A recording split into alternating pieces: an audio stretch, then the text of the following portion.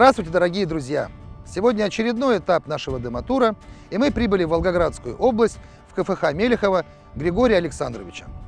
Мы преодолели 900-километровый марш-бросок из Краснодарского края, попали в дождь, но на завтра обещают солнечную погоду, и поэтому сегодня мы будем готовить машину, а завтра выйдем на поля. В этом выпуске мы, как обычно, познакомимся с владельцем КФХ, с его сыном, с его правой рукой, и поговорим об эргономике нашей кабины. Наш дилер Волгоградской области и сам Григорий Александрович пригласили на завтра очень много гостей. Приедут люди с нескольких регионов и будут оценивать работу машины в поле. Основано было хозяйство 25 февраля 1998 года. Начинали 45 гектар заброшенной земли. На данный момент у нас э, три хозяйства, 13 тысяч гектар земли. Э, Нашему хозяйству 20 с лишним лет.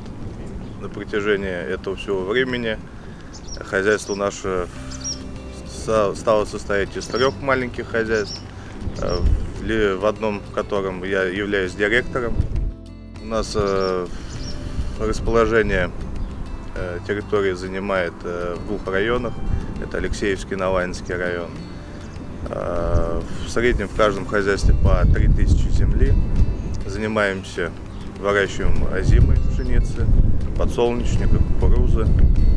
Э, Есть э, свой маслозавод мини, который делаем из своего же сырья продукцию.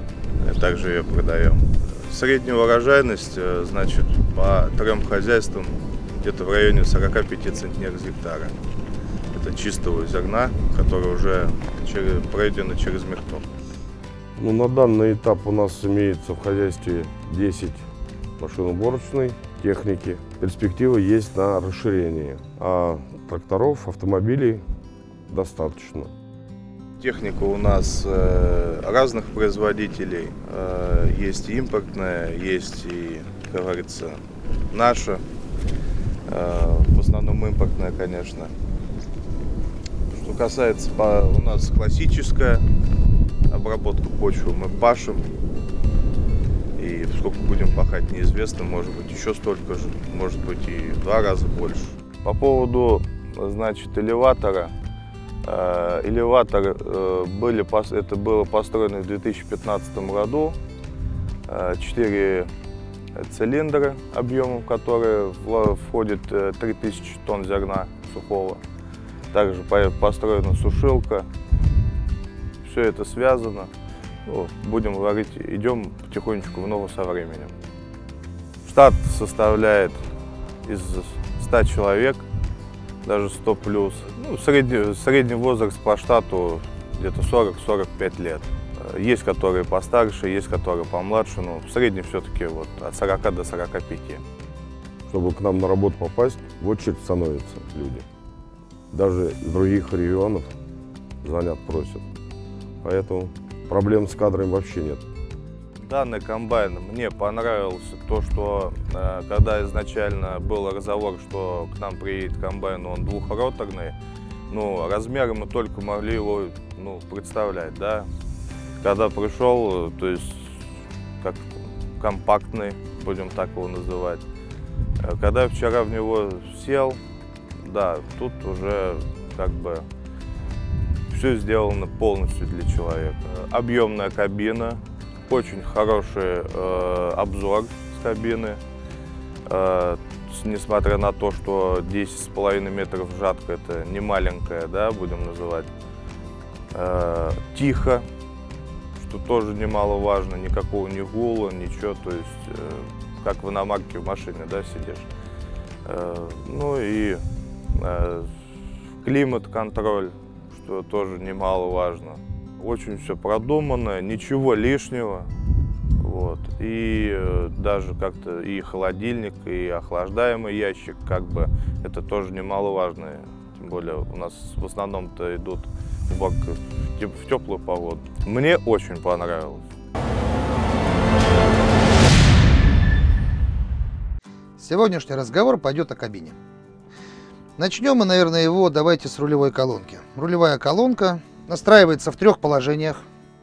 Кожаный руль, переключатель поворотников и звуковой сигнал. Также есть кнопка быстрого останова машины.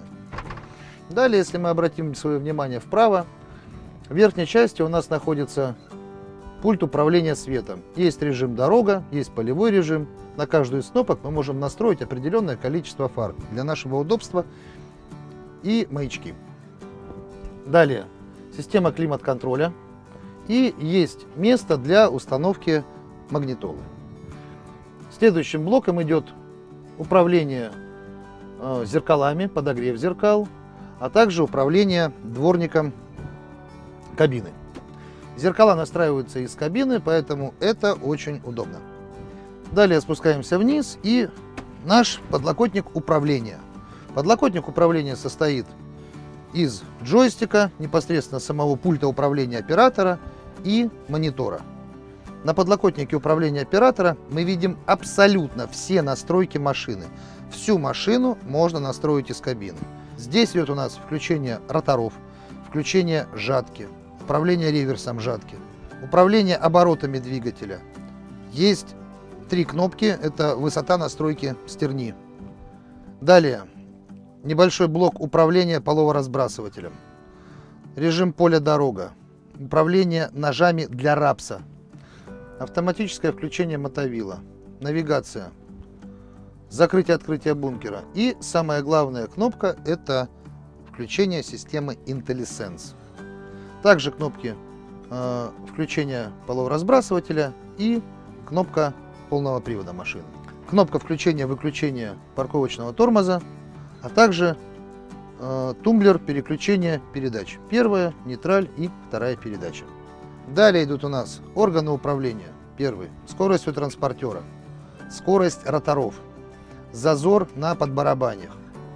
Далее – тумблер изменения угла лопаток на роторе, скорость ветров, управление предрешетом, верхним решетом, нижним решетом, управление градусом наклона наклонной камеры, а также управление скоростью половоразбрасывателя. Далее джойстик. Джойстик имеет с задней стороны кнопку сцепления. Без этой кнопки машину невозможно тронуть с места. Так же, как у автомобиля. Нажал кнопку, тронулся, далее отпустил кнопку, поехал. Это так называемая защита от непредвиденных случаев, когда механизатор или оператор машины поставил ручку вперед и она покатилась. На джойстике управления у нас находится управление основными функциями комбайна в работе. Это управление жаткой, управление мотовилом, разгрузка, скорость мотовила, также управление высотой среза и система навигации и круиз-контроль. Самое главное, кнопка мгновенной остановки комбайна в непредвиденной ситуации. Сиденье. Сиденье оператора имеет активную подвеску, имеет высокую спинку с боковой поддержкой, что очень удобно при езде подлокотник и также может настраиваться в разных плоскостях, в том числе по высоте, и настраиваться под определенный вес оператора машины. В кабине есть динамики для магнитолы, очень много полочек. Полочки очень нужны, потому что механизатор с собой возит инструкции по эксплуатации, еду берет с собой, какие-то свои вещи личные. Очень удобно расположены ящики, один, второй, все закрываются, то есть все будет изолировано. Штурманское сиденье может легко превратиться в стол для обеда, а также имеет холодильник. В верхней части кабины над штурманским сиденьем у нас находится охлаждаемый ящик, в котором очень классно хранить воду. В кабине очень большое панорамное остекление. Также кабина скошена вниз в передней части для того, чтобы оператору было удобно видеть жатку и наклонную камеру. А также Пол имеет подогрев. В этом выпуске мы пообщались с собственником предприятия, рассказали вам про часть комбайна. А теперь давайте проедем в поле и покажем нашу машину в работе.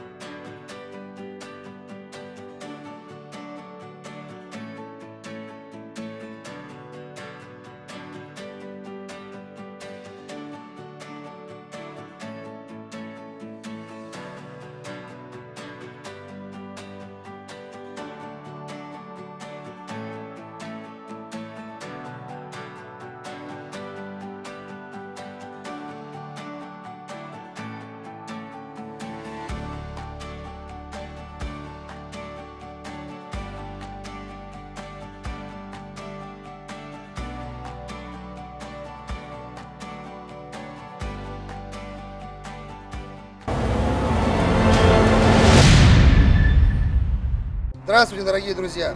Подошел к концу очередной выпуск нашего агромарафона. Мы побывали в краю, где живут казаки, побывали в городе Новоанинский, и мы закончили нашу уборку. Хотели бы поделиться с вами результатами. За день уборки нам удалось убрать 37 гектар пшеницы с урожайностью 63 центнера с гектара. У нас присутствовало очень много гостей. Каждый из них, кто желал, тот поездил на машине, оценил ее. И Григорий Александрович сам поездил, посадил нам своего самого выдающегося механизатора, так сказать, оценщика машины. Он дал нам свое заключение. Ну и, конечно, хотелось бы, Григорий Александрович, чтобы вы, Григорий, выразили свое мнение, как вам вообще аппарат. Попробовав New Holland, достойная машина, хорошего качества. Лучше пока еще я не видел. Спасибо большое за такой ответ. Для нас очень важно и показательно, что именно вы оценили наш комбайн таким образом. А теперь я хочу передать слово своему коллеге, менеджеру по маркетингу Алексею Гущину. Спасибо, Сергей. От компании CNH мы хотели поблагодарить Григория Александровича за предоставленное поле, за то, что он дал нам возможность показать э, наш комбайн в действии, показать все его преимущества и подарить от компании скромный подарок. Спасибо. А также по традиции мы передаем э, подарок из предыдущего хозяйства э, вам мед и, Спасибо. И подарок. и подарок. Спасибо вам большое, что приняли нас. Спасибо. Спасибо. Ну и до скорых встреч в Воронежской области.